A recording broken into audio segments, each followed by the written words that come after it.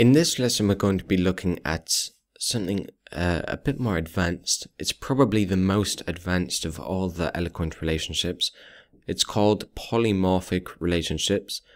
Uh, it sounds long, it sounds scary and intimidating. Don't worry, it's not. I felt exactly the same when I was first reading about it. Uh, so let's explain what this is about. Let's say that we want articles to have comments and we also want users to have comments on their profiles. Well, we could create a couple of tables. We could have user comments and then we could have article comments. But this is going to cause a lot of repetition. And we want our code to be as dry as possible. If you don't know, dry stands for don't repeat yourself. So we're going to simply create a comments table and we're going to have a couple of fields here. We're going to have body, which is the comment content. We're going to have user ID, which is the comment author. And then what we're going to have is commentable ID and commentable type. And this type is going to be the model. Okay, so let's very quickly add a couple of comments. We'll say this article is awesome.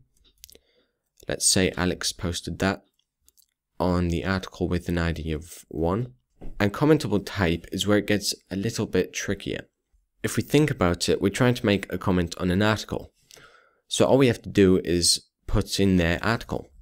And notice how I'm uh, I'm giving it the name of the model instead of the name of the table. So let's also add another comment saying this user is awesome. And we'll do user ID 1, which is me. And we'll put that on Alex's profile. And this time we're going to provide the model for the users table. So let's create a comment model. And this is very simple. Comment extends eloquent. All we need to do is put in one method called commentable. And this this method name here is the same as the prefix we used here. So commentable id and commentable type. And all we have to do is return this morph to could not be simpler.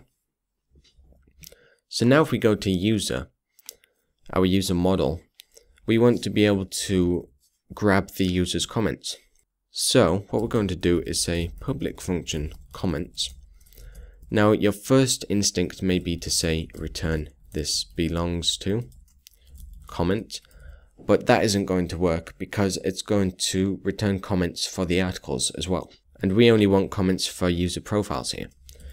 So what we're going to do is we're going to return this morph many because a profile has many comments and we're going to pass in the name of the comment method, uh, the comment model, and then we're going to pass in the name of that method that we just created. So commentable, just like we created here.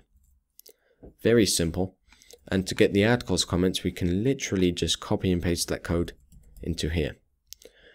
So now we've got all of that done, we're going to go to the uh, profile view. And what we want to do now is display a user's comments. So let's get rid of those articles. And we're going to say for each user comments. Yeah that'll do. User comments as comment. And for each. And for now we'll just say comment body. So I hit refresh and we're not seeing anything because we're not on the user profile. We don't have any comments. If we go to Alex's however we get this this user is awesome comment which we just created in the database so now let's do the same thing for articles.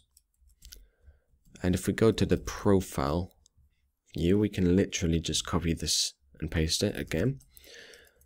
So let's indent that and change this to articles or article. Go back to the home page and there we have it. There's our comment. And let's just move this rule to make things a bit clearer. And you know what? why not? Let's add a little header. So this article is awesome. So let's just quickly to draw this in your head. Let's add another uh, another comment to this article here. So body will say, "Hello world." User ID will say, by the way, this user ID column is the poster ID. So commentable ID is the article ID, since we're making this for an article. And then we provide the article model. Hit refresh, and there we have it.